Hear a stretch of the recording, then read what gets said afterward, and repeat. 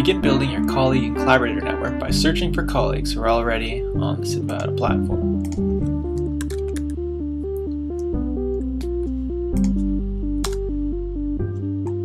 When you found a colleague, add them to your network here.